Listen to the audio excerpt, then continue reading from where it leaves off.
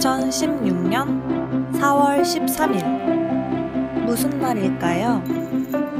제20대 국회의원 선거날입니다. 선거의 주인공은 누구일까요? 바로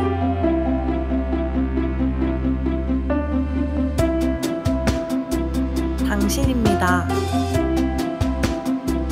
당신이 주인공이 되는 가장 쉽고 중요한 첫걸음은 선거에 참여하는 일입니다.